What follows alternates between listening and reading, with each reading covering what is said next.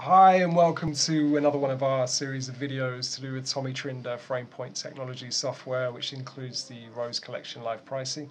Today we're just going to go over the Charisma model um, and go through some of the kind of familiar things that we used to and, and, and just some of the selection points. So uh, again go to the choose a menu, uh, choose a product screen, so we click on the, the Charisma Rose, just type in the location.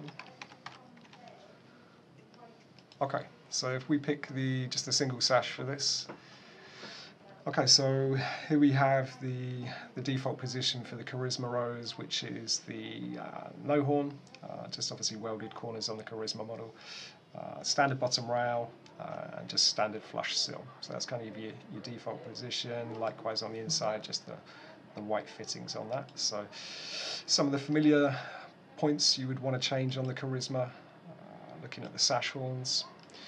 So again, similar to the Heritage, you've got the option between the run-through horn and the clip-on horn. Run-through horn being much more popular, but you know the other is available. So if we click on the run-through horn, you'll see again our own kind of bespoke horn that we have on each each one of our models is represented there. Uh, and likewise, if you click here, we can look at the bottom rail.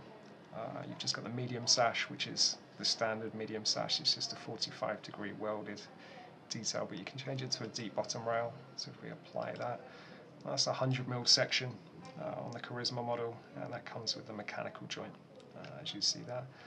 Uh, with the Charisma model, you get the Acorn furniture. It's the same suite we use on the Heritage, and again, it's coming out just with the white fittings, but we can change that to any one of the stock ones that we have. So if we change those to chrome, and likewise with the rest of the models, as soon as you change uh, a colour of one of the fittings, it, it will change that then uh, across the pulleys and the sash lift, so everything's kind of uniform. So, looking at the finish, um, these are what we stock uh, currently for the for the Charisma. So this is all shown here. Uh, you've got a few different options here between your whites, creams, and then some of the uh, the greys, uh, chartwell green, things like that just click here. This gives access to the colors we can do through our Colorbond shop.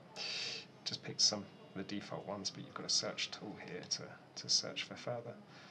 Um, and that, that's pretty much much it on the Charisma. It's, it doesn't have as many options as, as on the other models. It's our kind of entry model.